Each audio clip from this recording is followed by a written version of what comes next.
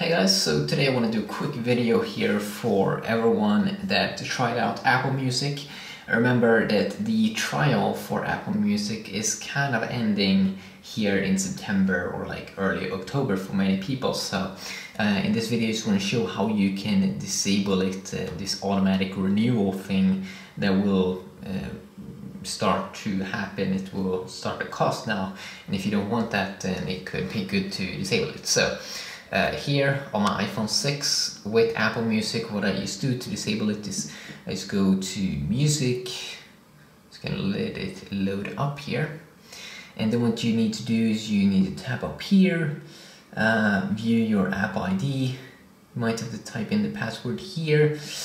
Uh, okay and then you go to manage and in here you have the Apple Music membership. You can see my free trial ends uh, October 8th. Uh, so down here on automatic renewal you can see it's activated. And then you just tap on it to turn it off. And bam. And you can quickly also again activate it if you want one month or family. But I use Spotify. It was a little bit fun to try out this trial but uh, yeah, I'm pretty satisfied with uh, with uh, with Spotify, so I'm gonna keep use it. Uh, I'm gonna get the or I'm gonna try to fix the iPhone 6s here. it's gonna come in October, as I said in the video, October 8th.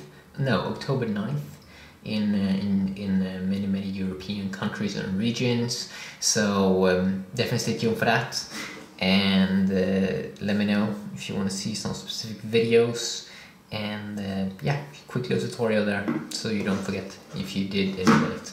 Have a nice day peace